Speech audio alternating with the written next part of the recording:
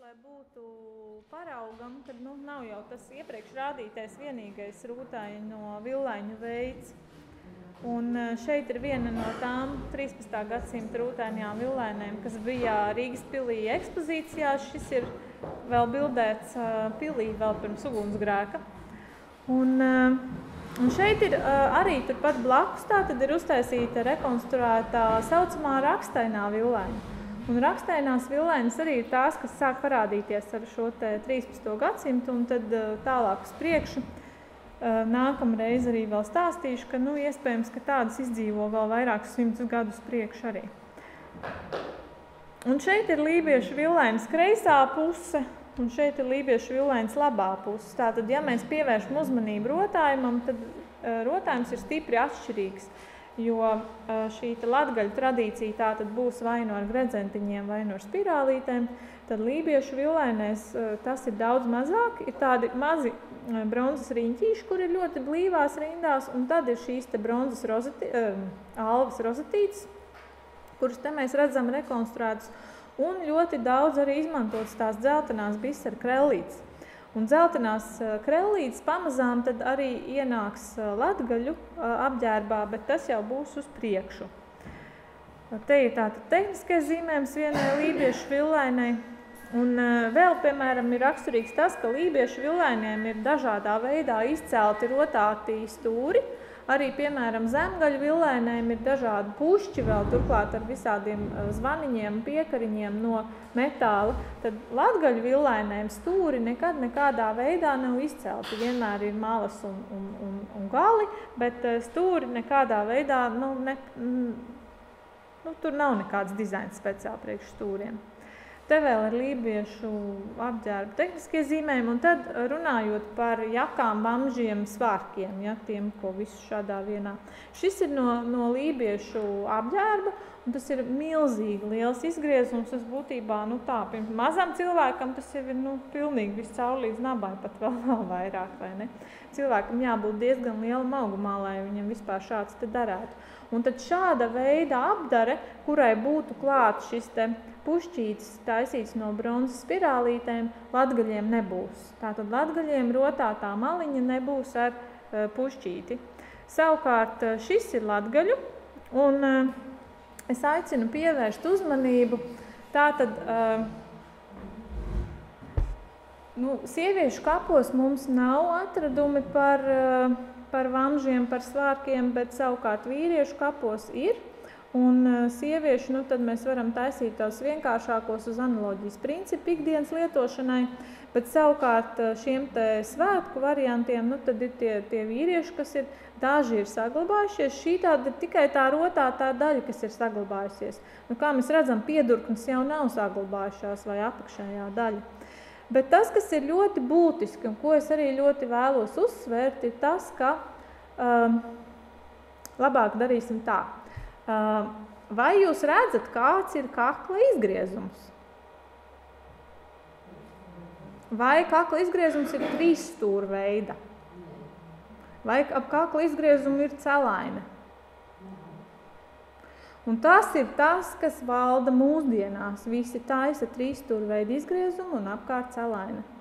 Uh, nav daudz šo fragmentu, kas ir no, no, no vamžiem saglabājušies, bet tie, kas ir, tie neliecina par tādu. Un kur tas ir ķēries un kāpēc tāds ir ieviesies, nevaru jums pateikt.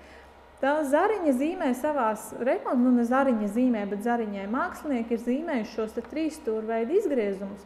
Es esmu manījusi tikai vienu, vienā fotografijā oriģinālu, neesmu redzējusi oriģinālu dzīvē, kur izskatās, ka ir trīs stūra veida izgriezums. Pārējie ir šādi te tāda apgrieztā piliena veida.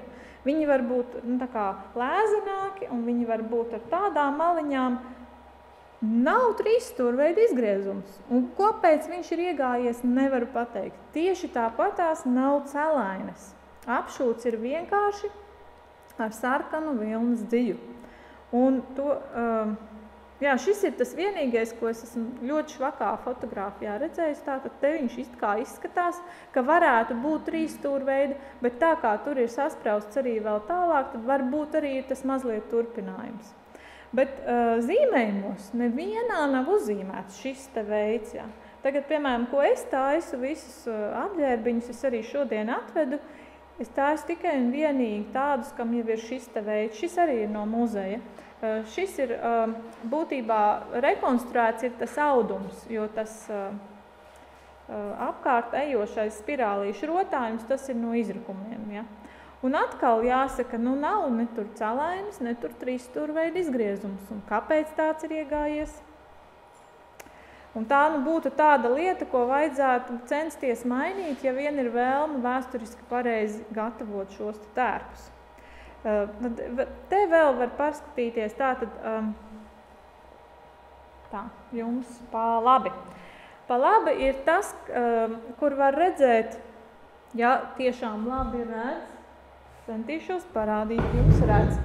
Jūs esat pirmā auditorija, kuri redz. Um, tātad šeit te mums iet auduma mala, kura ir minimāli tā kā, nu, tā kā tā atlocīta, un re, kur viņai ir tā dzīve apšūtā, te kaut kurš vakākojas. Tātad šeit viņa ir, un tās tas šuvums ir arī tam greznajam, ko es jums rādīju. Uh, ā, šeit vēl parādīju. Tātad šeit ir atkal citādāks. Šitā te ir audene, un arī šeit ir tāda audene sarkanā krāsā, un viņa ir šeit piešūta. Un šis vispār izskatās, ka ir nu, tā kā atvērums, kurš varētu būt līdz pat apakšai. Ir grūti pateikt, nu, tāpēc, ka vairāk nav redzams. Un šeit atkal iet sarkanā izšūma josla vai malus. Tā kā būtībā tā audena vēl ir klāt, un tā arī viņa ir klāt, vai te tā josla turpinās, tagad neatceros vairāk. Bet, nu, protams, oriģināli un vieglāk ir saskatīt. Un tā vēl šiten atpakaļ paiešu. Tātad arī šim te ir sarkanā, sarkanā vilnas dzījā apšūta tā maliņa, Vai mēs te varam kaut ko saskatīt? Šeit ir viens, šeit izskatās, ka viņš ir tāds, nu, tāds, tādā veidā. Un tādu es arī te jums vienu atvedu, kurus esmu uztaisījis, tātad, nu, centīsimies gatavot tādus, ja jau vēsturiskais materiāls ir tāds. Nu, tad par uh, kā šajā attēlā, kur fantastiski gan, gan trīsstūra veida izgriezums ir, gan arī pusgarās piedurknes. Tātad par piedurknēm jau teicu, ja piedurknes vispār ir, tad piedurknes ir garās. Latvijā mums ir švaki ar piedurknēm, un šeit ir pāris no vikingiem. Atceroties, es jums teicu, bija tas no, viking, no, no Norvēģijas ledāja atrastais ar tām šaurajām tādām piedurknēm. Šīs ir tādas ļoti izvalkājušās, grūti pateikt, vai viņas tiešām uz tiem elkoņiem ir bijušas platākas, visdrīzāk jau ka nē. Bet eh, būtībā piedurknes, cik var saprast pēc vēsturiskā, ir diezgan šauras un garas. Par to, vai viņas ir, nu teiksim tā, līdz šai locīta vai, vai pāri, nu to jau atkal tik precīzi nevar pateikt. Un, un teiksim, tie varianti, kur taisa tos rokautus un visus tos uh, karavīra aprocis un to visu, nu smuki. Pēc tā arī ir izdomājuši, ka ir jātaisa tās pusgarās piedurknes, bet nu, nav jau liecība par, to, par, tā, par tām pusgarām piedurknēm. Un tad ko darīt, vai tīt virs tās piedurknes vai zem tās piedurknes? Nu, grūti pateikt, vai ir kāda jēga no rokauta, kuru neredz, un tad varbūt jāten virs. Nezinu. Šeit ir tāda viena interesanta lieta – Jūs pat redzat. Superīgi. Tātad, šeit ir tāds fragments, kuram ir vīles. Te ir tātad viens auduma gabals, aiziet uz turien, te ir viens auduma gabals, te ir viens auduma gabals un te ir viens auduma gabals. Un tās vīles ir tā kā šeit taistas, un šī te iet aplītī. Un eh, domāju ilgi, ilgi, kas tas tāds ir, Norvēģijā vienā muzejā atklāja gandrīz tieši tādu pašu fragmentu, un tad es eh, tā kā ļoti pieļauju, ka tur ir kaut kas no tā saucamā vikingu metālīšu piegriezuma. Nav jau teiks, ka viņš ir tieši tāds, bet ka tā tā tad varētu būt šī vieta, nu, kur tātad piedara un iet tas apaļais un tas iet uz tām maliņām. Vai skaidrs ir, nu, kā vamzim iestrādāts, vai viņš ir garš, vai viņš ir īsts. Nu, to neko nevar pateikt, jo no tāda maza fragmentiņa neko citu arī nevar saprast. Bet tātad šī iešūtā vieta tur, nu, viena tāda liecība mums ir. Šis ir no vīriešu kapiņa pie drabešiem. Drabeši ir viens no tiem kaplogiem, kuru materiālus es inventarizēju muzejā. Līdz ar to man tas viss nu, tā bija ikdienā vairāk kā, kā pusgadu visu laiku ar to vien ņēmos. Un šis tās ļoti interesants. Te pirmām kārtām var redzēt, ko, e, ka tradicionāli diezgan bieži tā ir, ka saglabājas tikai tas audums, kas ir ap to bronzas rotu. Un šī gadījumā nekas cits nav palicis pāri, tikai tajā e, saktā iekšā esošais un apakšā esošais audums. Bet tas, kas ir interesanti, ir, ka ir tā malas celaine apstrādātā saglabājusies. Un cēlā, šis ir arī netīrīts fragments. Ja? Un malas cēlēna ir tā, kas tur iet gar malu. Un to es skatījos caur mikroskopu. Pirmām kārtām tā ir vienīgā cēlēna, ko es vispār esmu ievērojusi nu, visā tajā materiālā, ko esmu skatījusies, kur ir austa no vienkārtīgas dzīs. Pilnīgi visas pārējās celainas un audenes ir austas tikai un vienīgi no šķetrātas, jeb grodotas dzīs. Uh, Turklāt arī šī ir sarkana, tātad no vienkrās, vienkārtīgas sarkanas dzīs uzausta ļoti tāda blīva, vismaz desmit cēli viņai tur ir, nu, tāpēc, ka vienkārtīgi, tāpēc arī šauriņa. Apakšā, kā mēs redzam, ir mērogs centimetros, un, un tad mēs varam tikai domāt, nu, kas tas ir. Visdrīzāk tā ir kaut kāda apmetņa mala, kaut kas tam līdzīgs, jo tā ir vīriešu kapā tātad. Te mums vēlreiz šis atkārtojās, laikam bija kaut kas domāts par to. Nevaru pateikt tagad, ko esmu jau visu par to izstāstījusi. Šo es tātad jums atvedu parādīt, nav ko vairāk stāstīt, šo arī. Šis ir viens no uh, pašiem bagātākajiem vīriešu kapiem, kāds mums Latvijā vispār ir. Un tas ir uh, no Sēlpils lejasdopeļu kapu lauka. Uh, vīriešu kaps, kurā ir nu, vis, visvairāk droši vien vis visādu piedevu.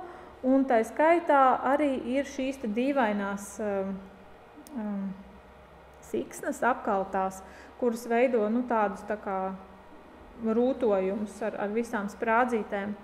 Un, um, piemēram, Juris Urtāns izteica tādu domu, ka var, varētu būt, ka tas ir kaut kāds tā kā bruņojuma veids, jo um, arī, piemēram, ja jūs būsiet ievērojuši, vilki dzied vienā no savām dziesmām, ka visi kauli noguruši, kā tur siksnām cieši nosprādzēti.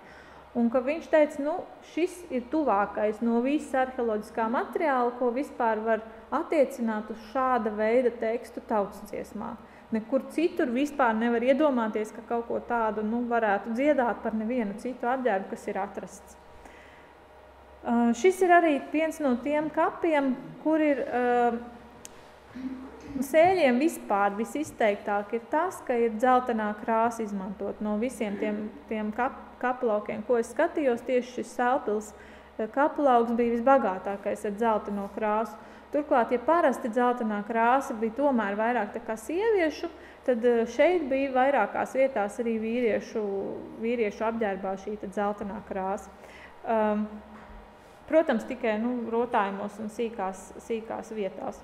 Un uh, vēl šis ir atkal vēl viens cits rokauts no Liepkalnas ķesteriem. Arī šajā rokautā, kas viņam ir uzsiets, un arī šajā rokautā tā tad ir uh, vīriešu kapā lietota dzeltenā krāsa, kā rotājums pie rokauta, tātad bārkstīs ir iekšā dzeltenā krāsa. Visādi citādi tā dzeltenā krāsa vīriešiem praktiski nav. Nu, un tā tas rokauts izskatās tinumā. Šis ir viens no tādiem biedējošiem skatiem, protams.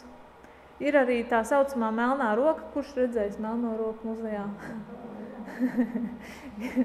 tā ir pavisam stilīga. Nu, tiešām roka pilnībā sažuvusi un, un tāda ar melno ādu, viss nagi, viss ir vai ne tā kā, nu, bet, bet, nu, Mums arī vairāk nekas tāds nav. Nav mums tā kā Dānijā visi cilvēki. Uh, nu, lūk, tad ir tāda tēma kā jostas. Jo, protams, ka uh, ja mēs uh, lietojam apliekamos bruņķus, tad bruņķi turās uz jostu, ne jau uz ko citu. uz gumija vai, ne, vai kā tur. Un, un attiecīgi jostām ir jābūt, bet jostu atradumu ir tik ļoti maz. Un arī um, nu, vispār fondos, cik man ir izdevies redzēt, nu, tiešām uz vienas rokas pirkstiem var saskaitīt, un tie paši ir, kā jūs redzat, blakus centimetri. Ja? Nu, šis ir, manuprāt, lielākais, kādu es zinu. Pārējie vēl mazāki, kur vispār neko nevar saprast. Šī ir rekonstrukcija no šīs te. Ja? Uh, un tad ir, piemēram, šis, kas ir jostas atlikums. Nu, Vai mēs tur daudz varam saprast? Nu, neko mēs nevaram saprast. Kādreiz vēl sen, sen atpakaļ, tikko kā sāku nodarboties ar, ar, ar vēstures rekonstrukciju apģērbu izgatavošanu, tad uh, jautājām mēs toreiz Zariņai, un, un viņa teica, nu, viņa jau iesaka tomēr pie latgaļu tērpiem taisīt skuņus. Nu, tad mēs arī taisam skuņus, bet nu, īsti pamatojumu mēs tam tā tik un tā nevar pateikt, jo nu, nav jau tā materiāla. Lībiešiem ir labāk, viņiem ir nu, diezgan tādas rekonstruējamas jau, jau nu, jostas kādas 11, bet, bet latgaļiem ir nu, pavisam bēdīgi tiešām. Nu, jā, un tad pārējot mazliet pie rotām, te ir nu, par vainagiem tā, tā schēma, un tas interesantākais ir tas, ka um, mums šķiet, ka, piemēram, pie klasiskā šī latgaļu apģērba tas bronzas spirālīšu vainags ir nu, tā, tā klasika, vai ne? Bet, eh, kā jau es teicu, ne jau viss ir radies pie latgaļiem. Tātad šie vainagi ir radušies vispirms pie zemgaļiem un pēc tam izplatījušies pa pārējo Latviju. Un tātad zemgaļi ir paši pirmie, kur tur 6. gadsimtā un 7. tas, eh, tas veidojās un, un, un pēc tam plešās plašāk pa Latviju. Un tad arī nāk klāt eh, tās astes visas aizmugurē Un, un, un šis aizmugures rotājums nu, izdzīvo līdz pat broces laikā, pa pilnam vēl, un pat 19. gadsimtā vēl šis tas no tā ir palicis. Nu, un tad bez šiem spirālīšu vainagiem, kas ir visplašākajā laika mērogā, ir arī saucamie grīstas vainagi. Par grīstas vainagiem var teikt tā, es pati personīgi skatījos, man liekas, ka sešus mikroskopā, kas viņiem ir iekšā. Es atceros, kādreiz man vajadzēja uztaisīt grīzes vainagu, un es nevaru saprast, kādu dzīvi tur likt, tāpēc, ka nav jau nekur rakstīts.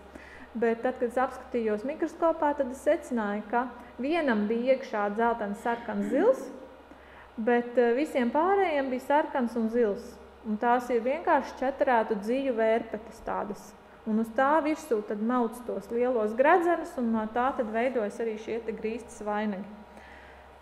Nu, un tad pamazām arī ir nu, tātad, sarkanās pamatnes, uz kurām vai nu no audenēm, vai nu no cēlēnēm, uz kurām tad nāk tas rotājums, kas jau pamazām atgādina mums jau pat 18. 19. gadsimta vainagdziņus. Un, un tad beigās jau, kā jūs redzat, pats apakšā jau ir tie 17. gadsimta vainagi, kas zemgalē ir ko neskapēc liek pie, pie 19. gadsimta āra, bet nu, tas tā. Šis tātad pavisam agrā veida šī spirālīša vainaga rekonstrukcija. Te ir viena no grīstas vainaga rekonstrukcijām ar tumši zildzīju. Un, un te var redzēt, un jūs tiešām redzat, ka ir sarkana un zila dzīja, vai ne? Redzat, super. Parasti šito parādu nu, neredzu neko pilnīgi. Nu tā, šis ir tātad viens no tiem pašiem pašiem bagātīgākajiem, kāds vispār ir atrasts. Un interesanti arī red, nu, redzat, ka augšā ir viņam tātad piestiprināts otrs, tas uh, smalko spirālīšu vainadziņš. Un, uh, un par vainagu nozīmi tad arī ir tā, jā, ka būtībā pētnieki domā, ka līdz pat apmēram kādam 17. gadsimtam vainags nenozīmēja jaunavu. Vainags bija vienkārši sieviešu galvas rota. Uh, Jo pirmkārt, eh, vainagus atrod kapos visa vecuma sievietēm, Otrkārt, atrod vairākus, nu, kas vispār, ja teiksim, tas būtu jaunavības apzīmējums, nu, tad tas nekādā veidā nu, kā, nu, tas nav iespējams. Ja.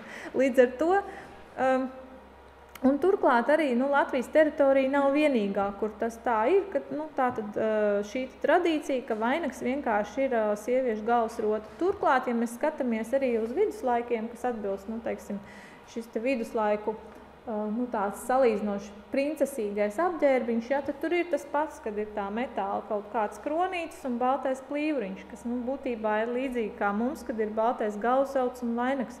Un, un, pārsvarā jau tomēr uh, tiek domāts, ka varētu būt galvas audu zem tiem vainagiem. Ka nav tā, ka, ka vainags būtu tieši uz matiem, bet nu, pilnīgi pateikt to nevar. Jo, kā jau es jau agrāk stāstīju, Lins ir vispār ļoti nepateicīgs uz saglabāšanos. Šis ir tātad tas uh, jaunpiebalgas uh, pirmā kapiņā uh, matauklas, saucamās fragments. Un man personīgi viņš ļoti uzrunāja. Viņu ir grūti saprast, nu, kāds tas gals ir bijis. Tur noteikti ir bijis veidots šis spirālīšu pušķis, bet cik liels to nevar saprast, jo vairāk nav saglabājies. Bet tas, kas ir saglabājies, tas ir ļoti skaisti, jo ir, um, ir audene, un audene ir ar zilām maliņām un sarkanu vidiņu.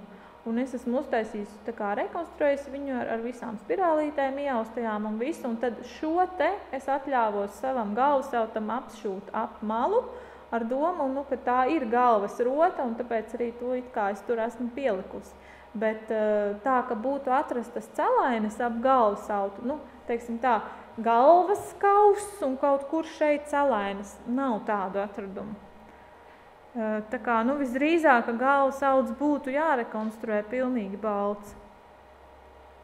Un tad... Uh, gribēju teikt, jā, ka nu, šis ir piemēram, viens no tādiem rotājumiem. Pavisam, pavisam smalku, sīku spirālīšu uh, veidojumi tiek taisīti. Piemēram, Somijā pavisam izcili un, un, un Igauņu teritorijās arī ir tādi, kad ir priekšauti un priekšautu malas ir visas izstrādātas šādām sīkajām spirālītēm, bet lūk, arī pie latgaļiem šāds ir. Un pildījums viss ir ar sarkanu dzīvi, ko jūs pamazām jau ievērojat, ka ja vispār visur kaut kur, kaut kādā veidā skaisti un dekoratīvi parādās kaut kāda dzīve, tad tā ir sarkana, vai ne? tā kā, nu, tas tāds diezgan jaukā likums. Te ir mazlietiņ paraudziņš uh, no tā uh, uz ādas loksnītes pielapinātais tas vainadziņš, kas ir iausts, un, un blakus ir vainaga galu rotājumi, kas ir tikai pīnītas ar pušķiem. Un, ja pareizi atceros, arī tie bija sarkani.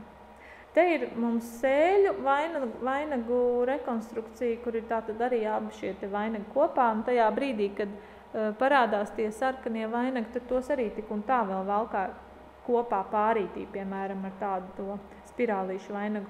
Un tad šie pušķīši, Tie vispār tāda veida un vēl kuplāki, viņi arī izdzīvo līdz pat etnogrāfijai, ne tikai nu, ne Latvijā, bet, piemēram, nu, kaut vai Ukraiņiem un, un vēl diezgan daudz, kur Austrum Eiropā viņi ir diezgan daudz Baltkrieviem un tā. Tā kā, nu, visdrīzāk jau, ka tur tāda veida arī varētu būt, piemēram, jostu gali apstrādāti, jo mums jau, protams, kā es rādīju, jostas pašas galīgi nekādus, un tad tie gali tad jādomā, ko tur ar tiem galiem darīt. Un šis varētu būt viens no veidiem, ja jau vainagam ir kaut kas tāds atrasts un rekonstruēts, tad, eh, ja jostām tādus izmanto etnogrāfijā citām tautām, tad var, varētu arī šādā veidā. Šis ir eh, pavisam jau no bēdīgā stāsta gala, jo uh, Nu, šī ir viena no, no, no senlietu, senlietu piedāvājumiem uh, eBayā, ja nemaldos, kur nu, tātad mantreči, kas izpost kapus, viņi, viņus pārdod internetā uz ārzemēm un, un, un pārsvarā viņus pasniedz kā vikingu. Un, uh, un, nu, un tad kaut kāda kolekcionāra interesanti pērk. Un, protams, ka tas viss iet zudībā. Un, un šeit mēs vienkārši, um, tas ir nu, viens um, Amerikas latvietis, kuram pieder tas um, tā kalva, un, un viņš par to tur cīnās pa internetu un parasti tur ziņo par visiem tiem, kas šitos te ieliek, ko viņš atrod. Un te mēs vienkārši varam labi redzēt, kāda veida tie pušķi tiek veidoti no tām spirālītēm. Bet nu, tas tātad mums ir gājis zudībā absolūti. Un, un arī, jā, ko es vēl gribēju teikt, ka tātad, kā mēs redzam, tie, tie pušķi no, no dzijām ir ļoti kupli. Tāpēc arī nu, es gribēju parādīt, ka, lai var redzēt, ka uh, iespējams, ka tos šāda veida pušķīšus var arī kuplākus veidot, jo arī tajā etnogrāfijā, tajā Austrumēropas, tad arī ir kuplāki tie pušķīši. Un šī, piemēram, ir uh, sarkanā vainaga pamatne, un, uh, un tā ir nu, tāda vienkārši audu, audene no sarkanas dzīves, un pēc tam tad, nu, viņa ir uh, dekorēta ar, ar vai nu um, stikla pērlītēm. sākumā dzeltenajām, pēc tam arī citādām, vai arī alus rozetītēm. Nu, tad kādi tie pirmie vainagi, kas ir sarkanie, šī rekonstrukcija, kādi viņi ir? Tas dīvainākais ir tas, ka vainagi nav apaļi un nestāv nu, tā uz galvas, bet vainagi tiek veidot daudz garāki nekā vajag, un tas nozīmē, ka tā daļa, kas tur, kur beidzās tas galvas atvērums, tā daļa tiek sašūta kopā, un viņa uz aizmugures vēl ar vienu iet nu, tāda tā kā bebra aste aizmugurē, un tad tikai nāk tas viss pārējais metāla vai, vai tekstīlī rotājums, kas nu tur klāt nāk. Un te mēs redzam, nu, kāda veida tās līnijas un rakstiņi ir ar tām um, stikla pērlītēm. Un šis ir savukārt lībiešu variants, jo lībiešiem vainagu nav vispār, un tad uh, viņu variants ir šāds, ka viņi tos spirālītes arī var, piemēram, piešūt pie jau galvasauta. Eh, šis ir arī lībiešu ģimenes attēlojums. Nu, tad, eh, iespējams, man tādas aizdomas, ka varbūt ka tās eh, latgaļu tērpu rekonstrukcijas ar tiem vēveidu izgriezumiem nāk no tiem lībiešiem, jo lībiešiem tiešām tīri labi var novērot to vēveidu, bet, kā jūs teicat, nu, latgaļu kapos nē. Nu, un šeit ir diezgan sen jau taisīta muzejā rekonstrukcija, kur ir fotografēta. Es pati organizēju šo visu fotografēšanu. Un, protams, ja man tagad būtu jāorganizē, es jau negribētu, ka vairāk tas trīs stūra veida kakls tur aiziet un vairākas citas lietas, bet nu, toreiz tas tā tika taisīts. Un, un toreiz tas vēl tika uzskatīts par labu. Un arī tās piedurknes īsās un vispār ļoti īsais tas, tas bambas. Šeit ir man darba procesā tā mana mīļā vilēna, ko es jums jau rādīju, kur man bija pirmā sarkanā dzīve, ko es satiku. Un, un, um, un tā tas viss izskatījās. Un, un šis ir tas fragments. Un tad te var redzēt sarkana dzīve, kā izskatās mikroskopā, un šeit kā tumši zilā mēļā dzīve izskatās. Protams, ka viņi nav pārsvarā, viņi nav ļoti spilgti. To vienu tos sarkanos aveņkrāsas matiņu, to es te neieliku. Un, un zilajam arī, piemēram, var redzēt tie, kas ir tie tādi tā kā baltie, dzeltenīgie tie. Tā ir tā patina, kas ir kaut kāda tāda, nu, nosēdumi, un, un ja tādi ir viscaur aplipuši ap to katru matiņu, tad nevar pateikt neko. Arī tad, kad uh, jau sāk noārdīties tā dzīve, nu, jau pūt kopā, tad uh, parasti viņa ir tāda nu, vai nu ļoti necaurspīdīga, vai tāda sīka, vai galīgi dzeltenīga, un pateikt atkal nevar neko. Tā kā nav jau tā, ka katram uh, tekstīlī fragmentam, ko paliec zem mikroskopu, uzreiz var noteikt krāsu, nevar. Uh, tas drīzāk tomēr ir tā, ka paveicās, nevis, ka, nu, ka jebkuram arī varēs noteikt. Un tad tie, ko es esmu skatījusies, ir nu, vēl ir vēl daži citi, bet uh, tie, kas man aizgāja pētījumā iekšā, ir šie, te var diezgan skaidri uh, redzēt, ka, uh, kur vispār mums ir bijuši arheoloģiski izrakumi, kur ir saglabājušās tekstīlijas, un, un, un labi redzam, ka, piemēram, nu, tajās, nu, jā, un lībiešu, tā tad es neskatījos, skatījos tikai baltu, Tāpēc, man vajadzēja šo visu mitoloģisko slāni pētīt, un tur nu, man lībiešu folklori vienkārši ne, nedotos rokā, jo es tādu valodu nemāku. Un, un kā mēs redzam, jā, tāda no kurzemes ir tikai trīs vietas, tās pašas vai nu ļoti agras, vai nu tas purvs, un, un tad ir vēl pie Rīgas eh, katlkalns, un, un pārējais viss ir vai nu latgaļu, vai nu sēļu teritorija. Tas ir kas mums ir 26. Lubāns Līčugals. Nu, no galvas nepateikšu. Tad man jāņem tabula priekšā, bet man nav tabula. Kaut kur datorā ir jā, protams, bet uh, tagad nevar pateikt. Nu tā, un tad, uh, tas bija tas man, tā, tas man disertācija tagad, ko es vienkārši pāris vārdos izstāstīšu. Uh, te bija tie 227 krāsu paraugi. Tas nozīmē, ka nevis 227 apģērba gabali, nu, fragmenti, bet, piemēram, ja ir viena celaina, kurā ir četras krāsas, tad arī nu, visas četras aizpilda to. Un, un lībiešu vendu neiekļauj tā, tad laika periods mums ir 3., 4. līdz 13. Bet es skatījos arī 14. gadsimta paraugs, tur tas pats vien bija. Un tad tas, tas um, krāsu sadalījums bija tāds, ka um, man bija speciāli jāmeklē, lai es atrastu kaut ko brūnu. Es atradu, nav tā, ka nav bet brūns ir tomēr ļoti maz audumos. Bet uh, zilais ir nu, pārsvarā.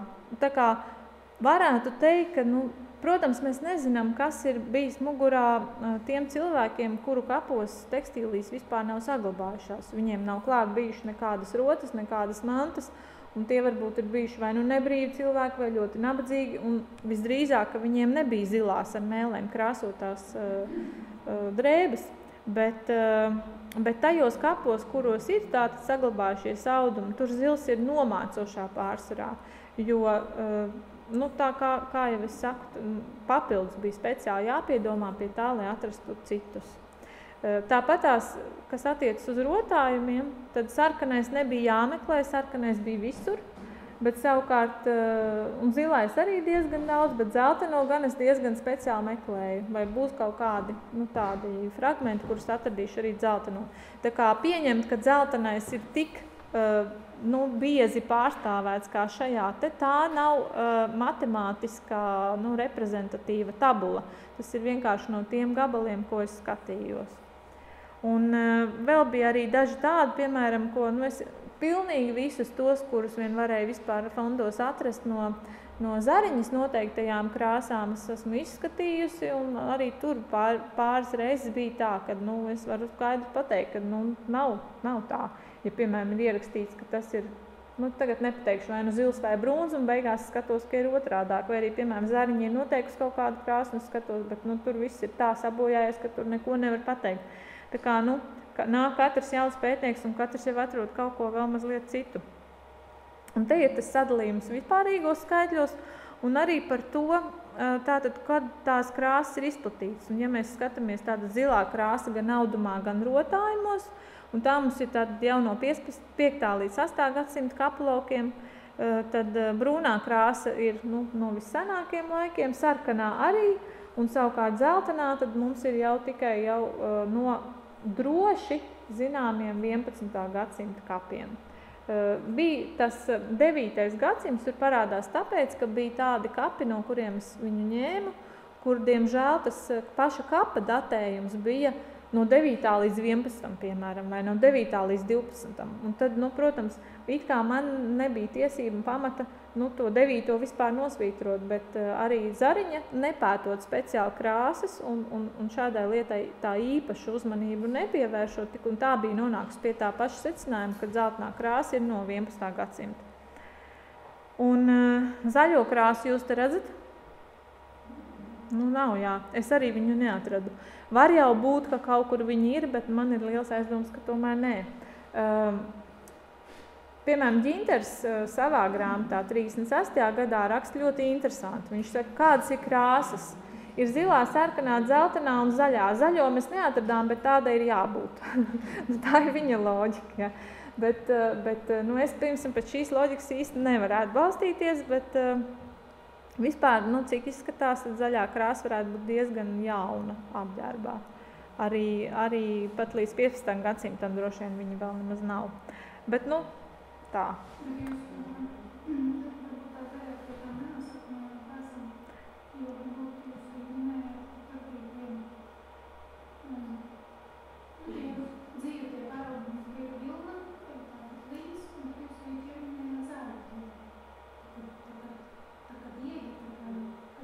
À, zāle. Jā, tas ir arī ka tas nenosakām, ne, nu tie nenosakāmie parasti ir no, no auduma. Un audums uh, vispār ir tikai vai nu zils, vai nu brūns, citādi nav. Uh, kā lūdzu? Nu, es tagad esmu iesniegusi vienu rakstu par pelēko krāsu. Visdrīzāk, ka jā, bet ne tajos greznajos tērpos. Un, eh, un eh, ikdienas tērpos noteikti ilgu laiku folklorā tas ir. Uh, tur tā īsti nē. Ir, nu, bija tāda Latvijas laikā strādāja tāda Augusta Siliņa muzejā, un tad viņa arī bija skatījusies cauri vairākus šos te uh, un it kā noteikusi krāsu, bet nebija noteikts, ar kādām metodēm tur nevar saprast īsti. Un tad viņa bija vienā vai divās vietās kaut kur pierakstījusi, ka pelēks. Nu, es mēģināju to skatīties, nu es tā kā īsti nevaru pateikt. Protams, vēl ir tāda lieta, ka uh, jebkurš uh, nu, audums viņš nedaudz sakrāsojas no zemes, zemē esot. Un ja viņš ir balts, nu, ļoti, ļoti grūti pateikt, vai viņš var būt tomēr bijis gaiši brūns. Nu, tas ir tā. Bet vai varbūt gaiši dzeltens vai vēl kaut kāds, jo pēc tam viņš iekrāsojas un viņš paliek viss iespējamais, sākot no kaut kāda netīra dzeltena līdz kaut kādam zemes brūnam? Bet uh, nu, tā viena vilēna, ko jūs jau redzējāt, tā ir tā kā rekonstruēta, bet ka es būtu satikusi kaut kur tādus, nu, es nevaru teikt. Jo, protams, jā, tajās lībiešu jostās rekonstruē baltu, bet es neredzēju nekur tādu, ka, ka Ar sarkanu pārsvarā, jā. Jā. Jā. Jā. jā. Tas, kas ir kapa materiāls, tāds ir. Jā. Kā lūdzu?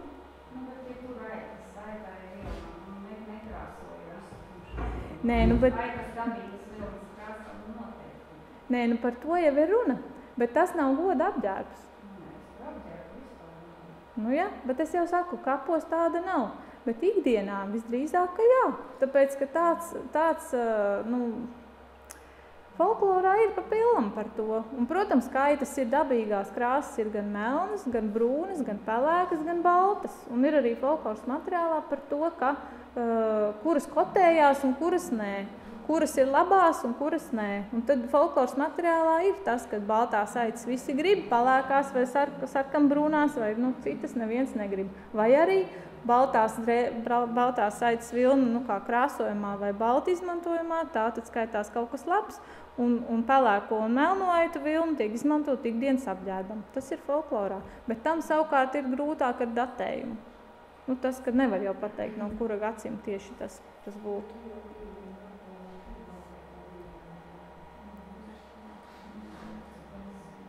Šitien tā tad vēlreiz atkārtojas tas par to, ka tā apšuvuma dzīve ir sarkanā, Un te ir tas parādīts viens no variantiem, kā to var apšūt.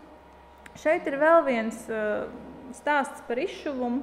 Šī ir ļoti, ļoti uh, resna, sarkana dzīve.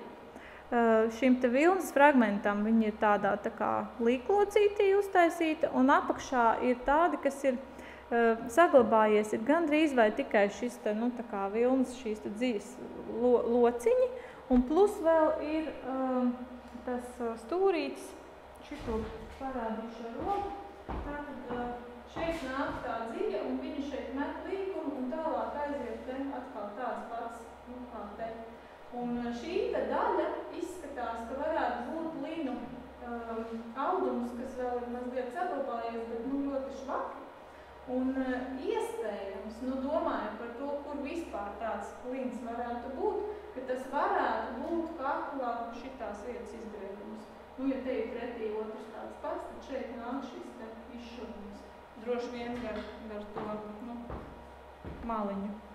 Bet eh, vai tā ir simtprocentīgi pateikt, arī to nevar.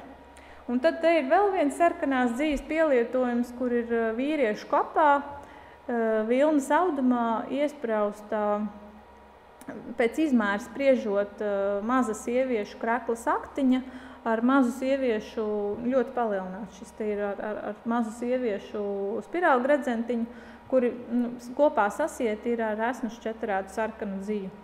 Un, nu, pēc tā vien jau var saprast, ka tas sarkanais ir visām galvenajām mītiskajām vajadzībām un visām dīvainām lietām tiek izmantots sarkanais. Nu jā, tā mēs beidzot esam tikuši līdz tām lietām, ko nu, es tā kā ieteiktu um, tiem, kas gatavo un tiem, kas valkā, izvairīties no tām lietām. Tāda viena, ko es jau minēju par to, ka tās celainas, um, nu, neesmu redzējusi nevienu uh, šo te brunču un nevienu jakas vai vamžu vai svārku fragmentu, kam būtu celaina klāt. Uh, tātad to neiesaku uh, nekāda veida.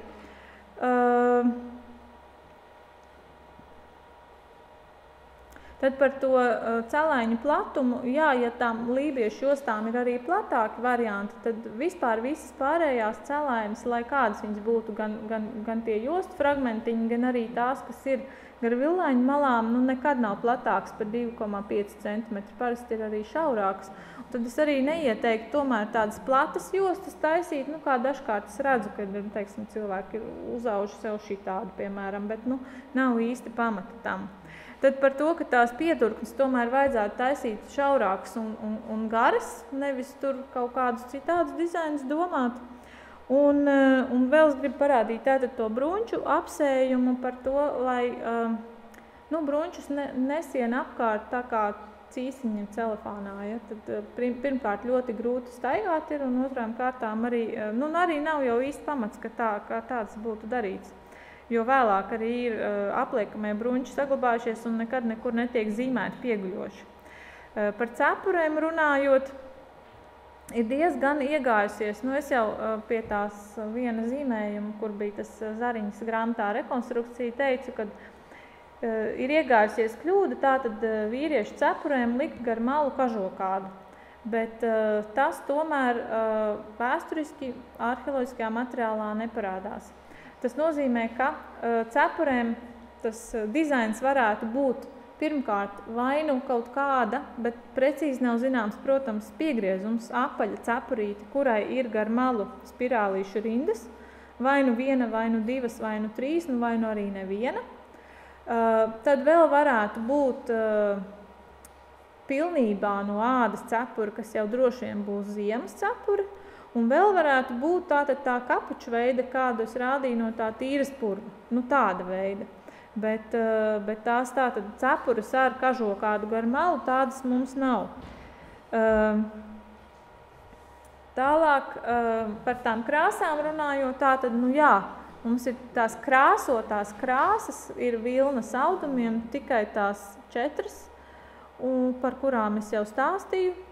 Un, eh, un tas arī vēl papildus no, no, no pētījumiem, no folkloras materiāla, gribētu tiešām no sirds aicināt pelēko krāsu neaust iekšā rotājumos, jo pelēkā krāsa pilna folklora ir ar to, ka tā nav prestižā krāsa. Un prestižās krāsas ir tās, kuras ir speciāli krāsotas, kas ir saucamie dzīpari, un no tām arī taisa šos rotājumus, pie tam vēl ar visādām maģiskām rituāliem un nozīmēm. Savukārt pelēko krāsu noteikti, ja izmanto, tad tikai nu, nevis rotājumiem, bet audumiem un ikdienas apģērbam.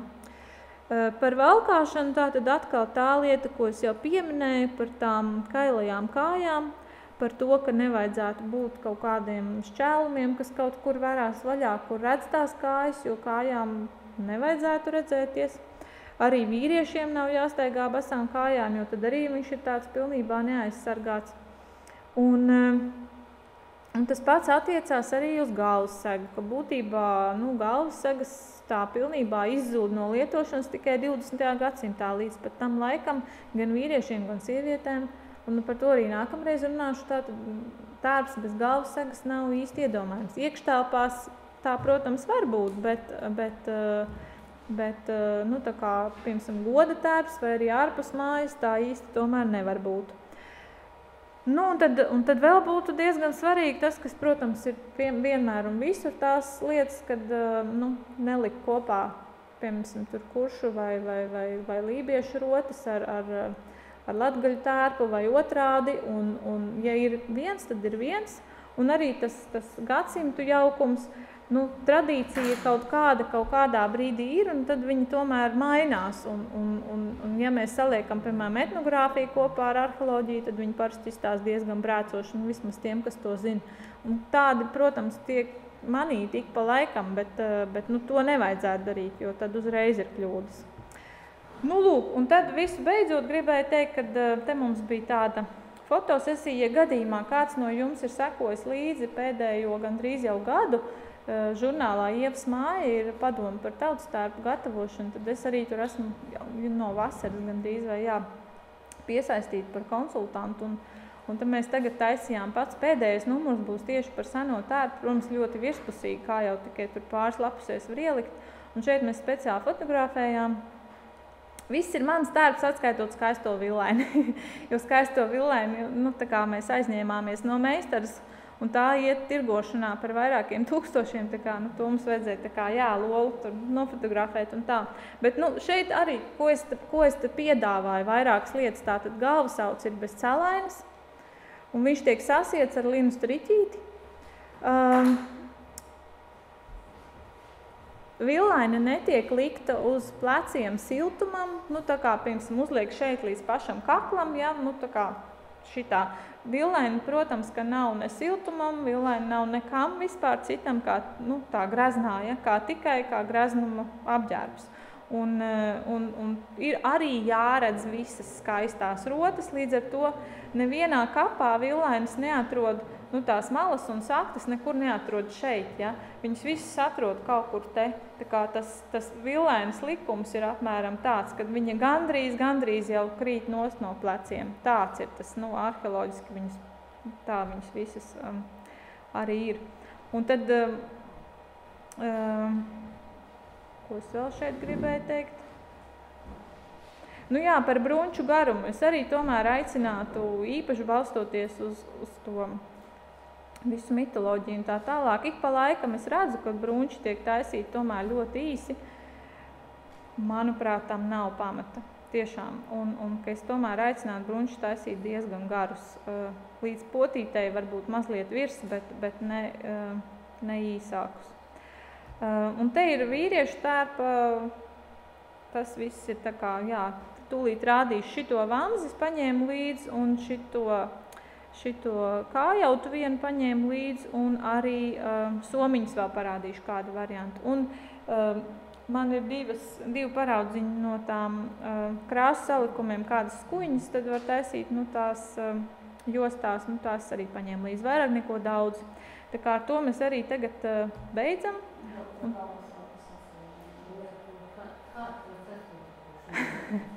Galvasauta šņurīte, uh, nu, ja mums ir galva sauc, tad šitajos te galos vienkārši iever tās šņurītes. Viņu ar visu mēsglu izšuj cauri, un tas mēsgls jau tur viņu.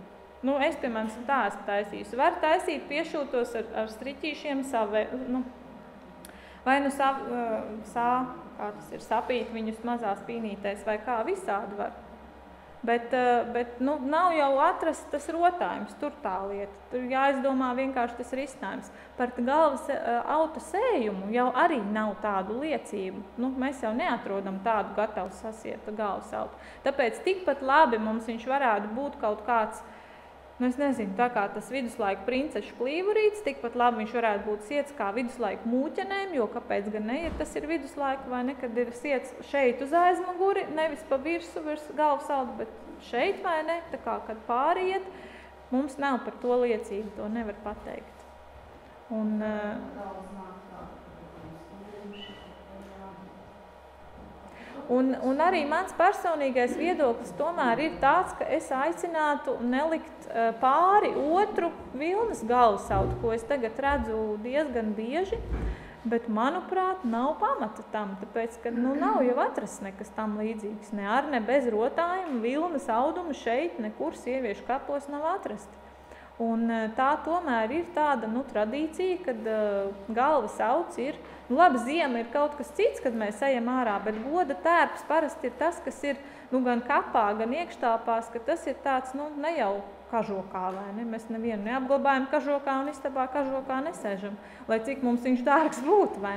Līdz ar to tas galvas auds, viņš parasti tomēr ir lina, un parasti viņš ir, nu, tā kā viens.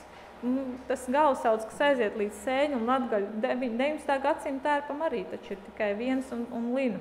Un arī šis visā Eiropā valdošā moda ar to kronīti un, un, un to plīvuriņu ir tieši tas pats stils. Tā kā, nu, manuprāt, nav pamata vilnas galvasātiem.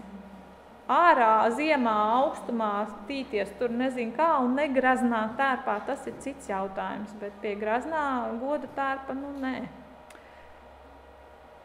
Nu jā, tad nākamā reize mums ir nākamā nedēļa, ceturtdienā. Galvenais nesajaukt dienas. Un uh, mēs varbūt varam pie gaismas tikt tagad. Vienkārši mazliet parādīt.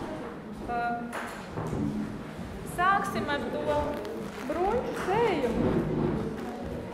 Man vajadzētu vienu modeli, kas būtu ar mieru.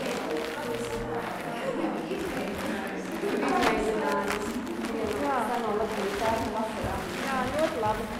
Un tā tad, um, Un, starp citu, visu šo te villaini un tam līdzīgi tērpu pārvadāšanai iesaku izmantot rulli. Kāpēc? Tāpēc, ka tikko kā viņus saloka un aizved sev vienalga, kur līdzi, viņi momentā ir uh, nu, salocījušies. Un visas dienas garumā tā arī neatietās. Un visas fotogrāfijas un viss ir nesmuks. Un šitā vienmēr ir pārvadāt ļoti labi.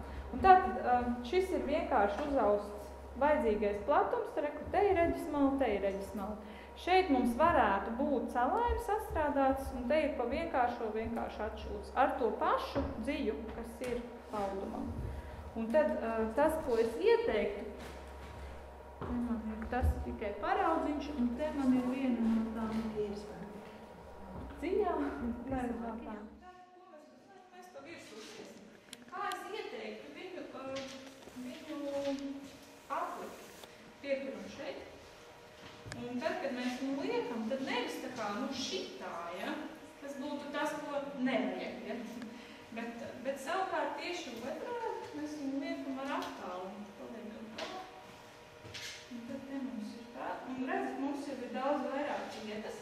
Pieturam te. No sākuma liekas, ka vajag divus cilvēkus, lai atliktu. Pēc tam iemācās arī viens pats atlikt, un nav jau vairāk tas grūti. Tad